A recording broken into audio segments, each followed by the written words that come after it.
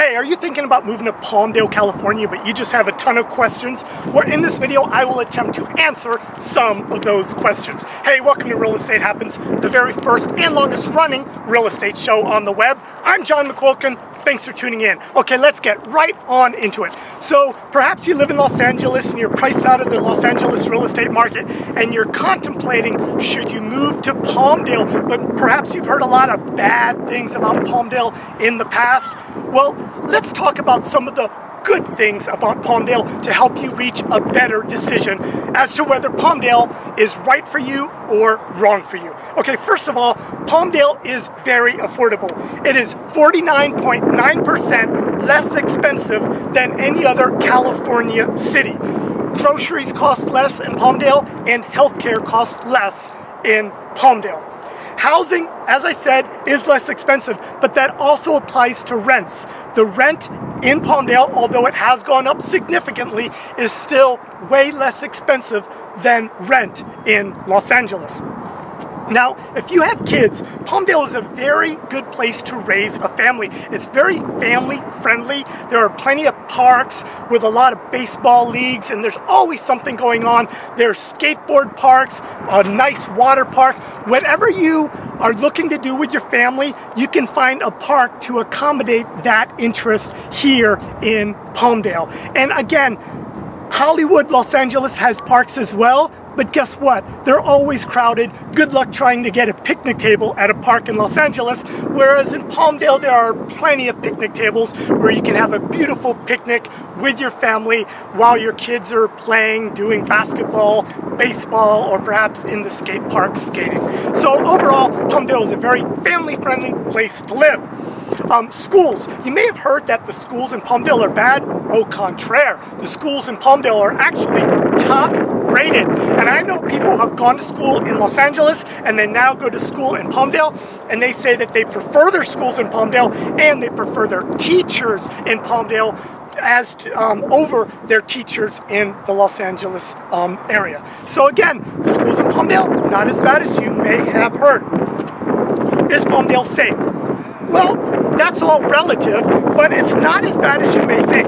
Palmdale is the 33rd um, safest city in California, which puts it in the top 10% of safe cities in California. However, violent crime is 10% above the national average. It's still not as bad as you might think because the violent crime typically takes place in the areas of Palmdale that are not quite as nice. So as long as you stay out of those areas, I don't think you're going to be a victim of violent crime. Okay, um, friendly people. I was just amazed when I first moved to the Antelope Valley how friendly and neighborly the people in the Antelope Valley are. So if you live in Los Angeles and perhaps you've lived there for 10 years and you don't even know your neighbors, that's not gonna happen when you move to Palmdale. You're gonna know your neighbors, there are block parties going on, it's just a wonderful place to live.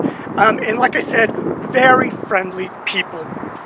Now, you might have heard that Palmdale gets hot, and guess what? It does, but it's, it's not as bad as you might think. There are only 35 days a year when the temperature gets over 100 degrees. Now, if you're familiar with Palm Springs, you know that Palm Springs in the summer is completely unbearable. But mostly in the summer, the temperature is bearable. There's only 35 days when it gets above 100 degrees.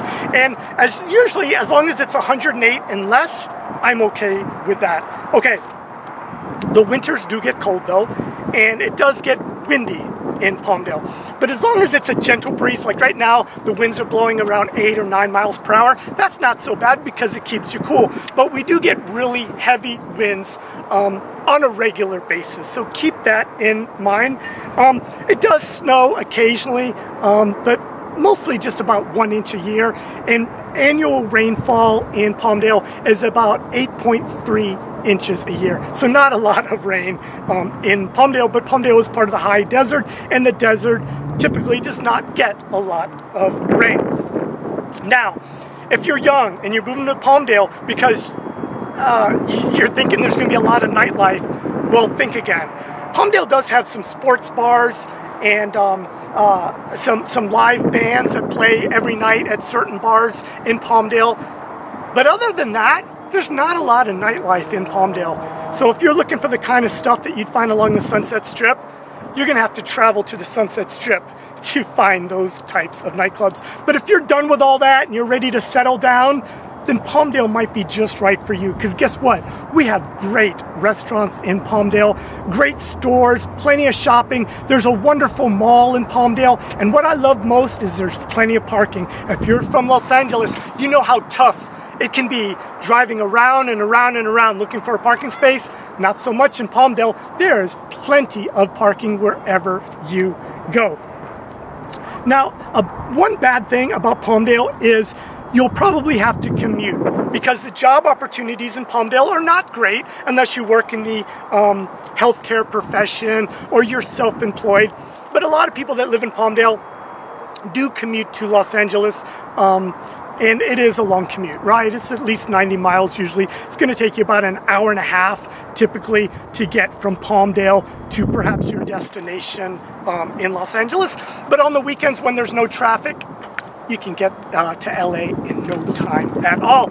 So it's kind of like a trade-off, right? Sure, you're going to be commuting a little bit, but you're also going to have this wonderful lifestyle, this wonderful house in Palmdale that you might not be able to find or afford in the Los Angeles area. So it's just something that you have to consider before moving to Palmdale. But yes, there is a commute. But other than that, I think the good outweighs the bad as far as moving to Palmdale. So if you think after hearing all this that Palmdale might be right for you, reach out to me, give me a call, text me, or email me, and we will get the conversation going to see whether or not Palmdale is right for you. Well, that's it for today's show. I hope you guys enjoyed it. I'm going to have another show for you real soon. I promise you that. So until then, take care, everybody. I'm John McQuilkin, and I'll see you in real estate.